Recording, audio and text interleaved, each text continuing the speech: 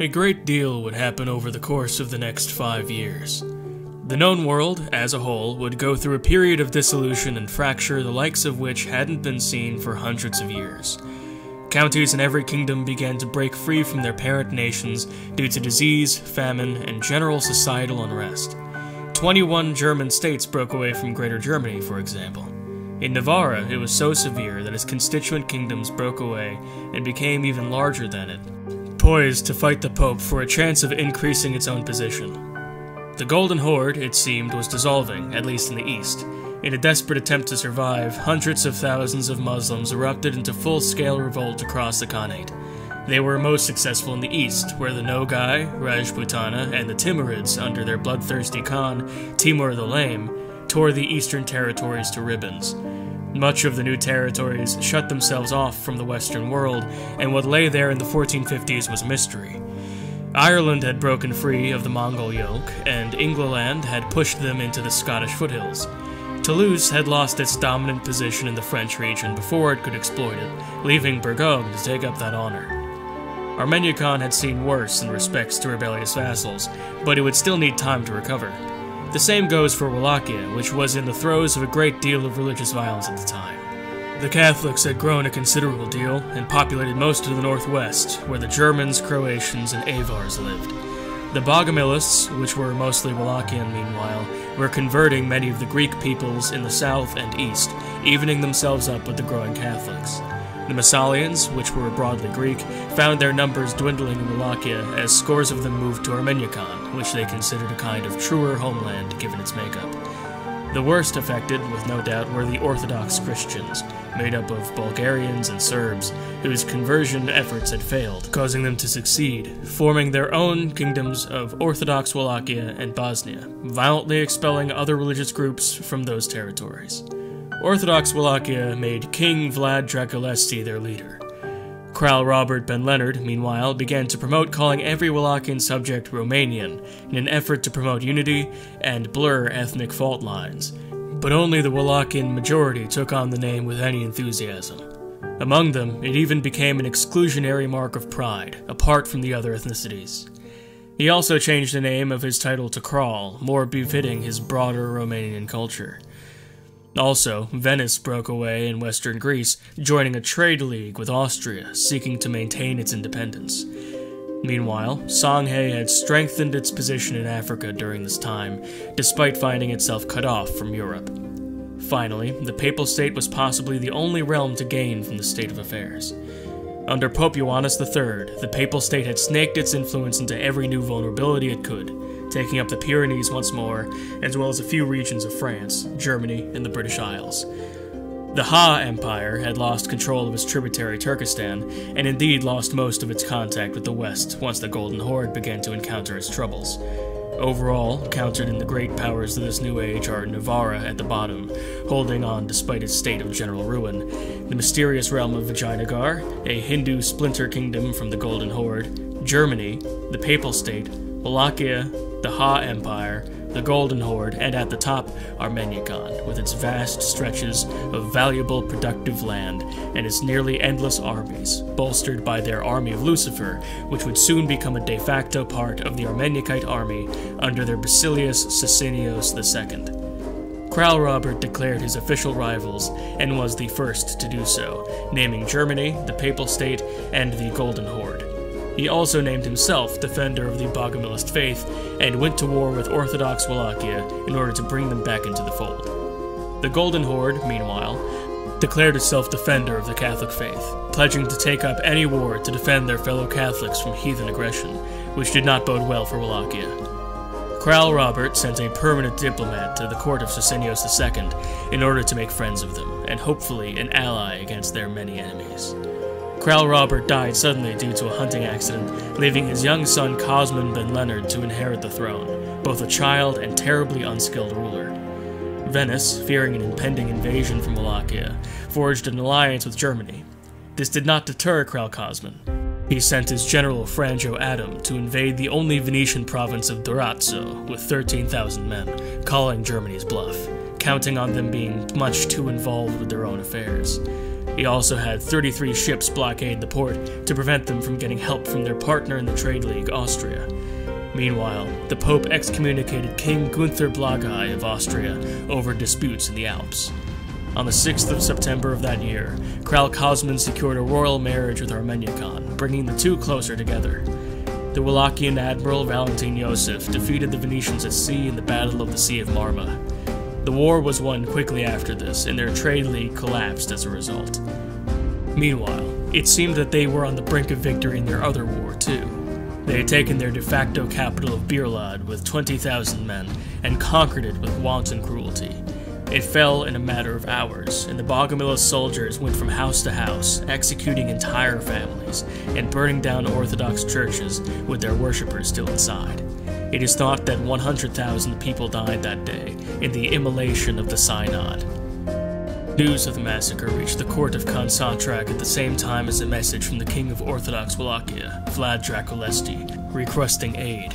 Hearing of these many cruelties and worrying over the long border they shared with Wallachia, which was in fact the longest shared land border in Europe, Khan Satrak saw an opportunity for conquest against a kingdom fully embroiled in an ethnic conflict. As such, he ordered 50,000 of his horsemen down from the steppes with the goal of curtailing the growth of Wallachian power and hopefully rending the kingdom in two. When Orthodox Wallachia gained this unlikely co-belligerent in the form of the Golden Horde, they reversed the tide of war and brought the two Wallachias to a stalemate. Eventually, Targovishte was stormed by 30,000 Mongol horsemen, and Kral Cosmin was forced to surrender. As such, Orthodox, hereon known as Lesser Wallachia, carved out a respectable territory on the shores of the Black Sea, sowing enmity between them and what they viewed as an impostor Wallachia. King Vlad Draculesti then began his domestic campaign of revenge, converting the peasantry in droves and impaling local religious leaders the Orthodox Patriarch deemed heretical. In a shocking move, the court chronicler, whose family had resided as the chroniclers of Greater Wallachia since the time of Katarik's Dragoshin, fled to the court of Vlad II, leaving Kral Cosmin to find a new scholar to record his history. This chronicle is of the original line, of the man who fled to lesser Wallachia, which revived the spirit of Catrix rulership and tolerated not the heretics that had found such fertile ground in their homeland. So, these two Wallachias stood at enmity with one another. The multicultural, multi-religious kingdom of Greater Wallachia under Kral Cosmin and his Bogomilist nobility, and the zealous, purist Lesser Wallachia, undergoing a religious and ethnic cleansing under their king Draculesti, reviving a potent legacy that had died with King German's acts of tolerance. Vlad II declared himself defender of the Orthodox faith, which was an easy title to fill as the only independent Orthodox realm in the known world. In 1452, Lesser Wallachia began to improve its relations with Armeniakan and Germany. In March of 1453, Massalian zealots rose up across the Khanate of the Golden Horde. On the 18th of November 1453, a sudden illness killed King Vlad Draculesti, leaving his son, Mircea, to inherit the throne. In 1459, Navarra fell into civil war, and later that year, Greater Wallachia invaded the Golden Horde, conquering further territories. On the 26th of October 1460, Lesser Wallachia was the first country in Europe to make use of the arquebus in their military, in order to make up for a lack of manpower. In December of that year, King Mircea curtailed noble privileges, weakening the boyars and their influence in his government. On the 1st of February 1461, Lesser Wallachia declared war upon Greater Wallachia, calling in the Germans as allies to their war.